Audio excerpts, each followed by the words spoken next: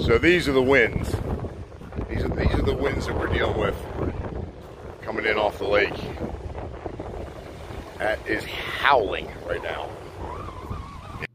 This is the Gazelle Tents T4 Plus Hub tent.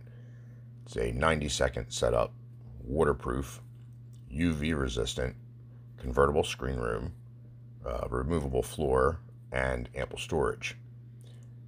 Can see that the tent withstood the winds, not so much the campsite. And we powered our site with the Rockpals 500 watt solar generator